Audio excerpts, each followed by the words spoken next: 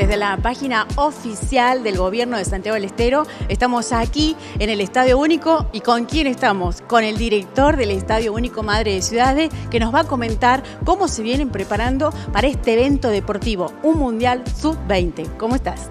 ¿Qué tal? ¿Cómo están? Buen día. Estamos ante, ante un evento deportivo eh, muy importante para lo que es el país primero y después, bueno, nosotros ser sede de, este Mundial Sub-20, la verdad que nos pone, nos pone muy contentos.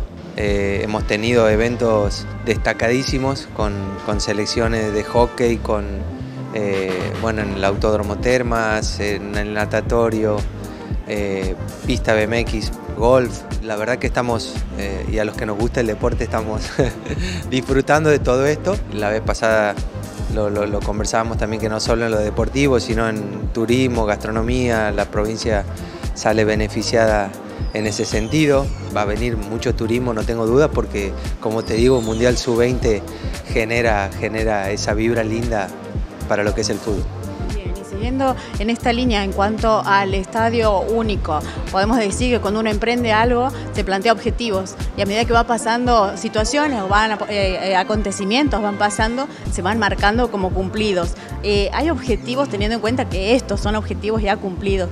¿Hay alguno que siga en esta línea? ¿Hay alguno que quiera pasar un nivel más alto? Y la verdad que está difícil ya.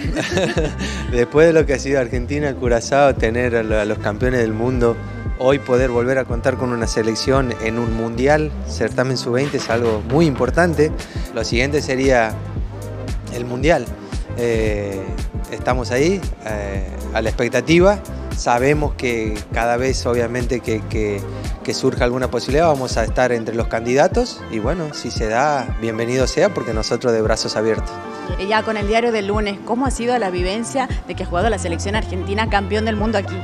Increíble, la verdad, y más, eh, como hace mención, con el diario de lunes, sabiendo que todo ha salido de la forma que, esperábamos, eh, que, todos los que han podido eh, asistir y participar en la logística previa, durante, las sensaciones son, son, son buenísimas, han estado todos muy contentos, así que eso nos llena de satisfacción. Bien, y ahora a días de comenzar este Sub-20, ¿cómo lo estás viviendo?